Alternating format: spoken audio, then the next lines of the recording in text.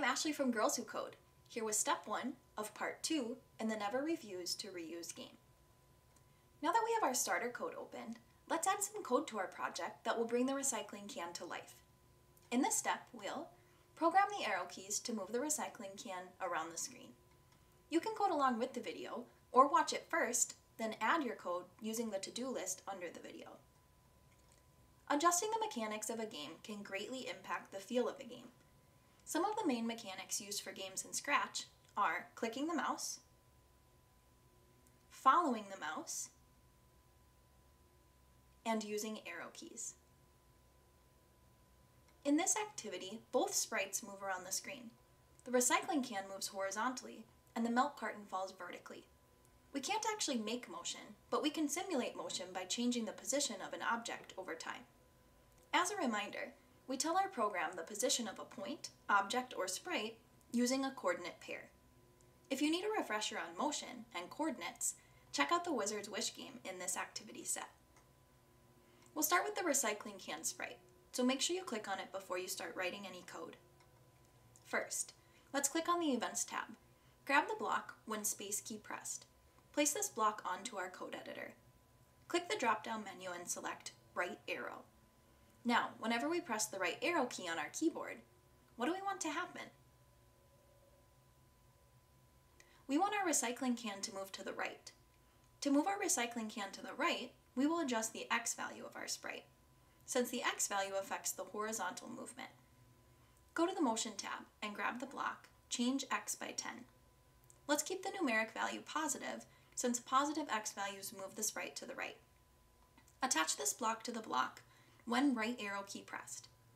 Now, each time we press the right arrow key, the X value of the recycling can changes by 10 pixels. Great work! We have simulated our sprite moving to the right. Now, let's program our recycling can to move to the left. Go back to the Events tab and grab a when space key press block.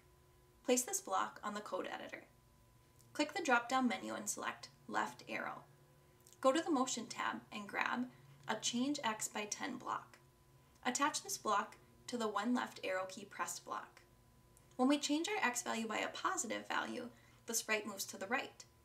How could we adjust this block to have the sprite move to the left? Let's change the positive 10 to a negative 10. Press the green flag on the top of the stage to run your program. Press the left and right arrow keys, and your recycling can should move to the left and right. Now, in order to improve the playability of our game, we want our recycling can to move faster as we press the left and right arrow keys. Any ideas on how we could make this happen? Try adjusting the values of 10 and negative 10 to 5 and negative 5. Did that work? What if we change the values to 20 and negative 20? Which numeric values do you feel will make it easier to catch the milk carton? We will set the change x values to 20 and negative 20 because this will increase the speed of our recycling can and make our game easier to play. If you would like to use different values, go for it. Just keep in mind that your program will look different than ours in future steps. Pause the video and try out your program by pressing the right and left arrow keys. Your recycling can should move left when you press the left arrow key and move right when you press the right arrow key. That's it for step one. For a recap of the tasks covered in the video, check out the to-do list below. We've also included debugging tips in the documentation in case you get stuck. In the next part, we'll learn how to make the melt carton fall